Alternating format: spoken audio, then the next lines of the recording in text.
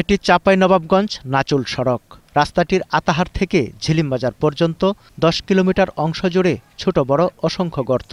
ভাঙাচোরা সড়কের কারণে প্রায়ই বিকল হচ্ছে যানবাহন। স্থানীয়রা বলছেন অতিরিক্ত পণ্য বোঝায় যানবাহন চলাচল আর পানি নিষ্কাশনের ব্যবস্থা না থাকায় দ্রুত ছালবাকল উঠে গেছে সড়কের।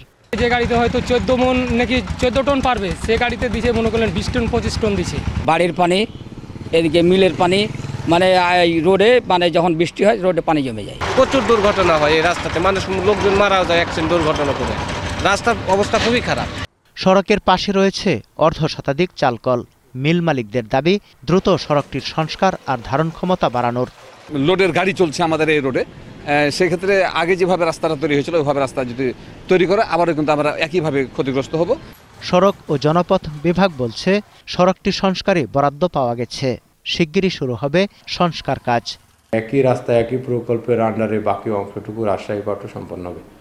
এখন এখানে যে মিল রাইস মিলেরা যে গরম পানি নিষ্কাশনের ফলে রাস্তাটা নষ্ট হচ্ছে এটাকে অ্যাড্রেস করেই আমরা কিছু অংশ রিজিভ পেমেন্ট করছি এবং কিছু অংশ আমরা ওভারলেশন বরেন্দ্র এলাকাসহ জেলার কয়েকটি উপজেলার যাতায়াতের একমাত্র এই সড়কটি দ্রুত মেরামতের দাবি ভুক্তভোগীদের।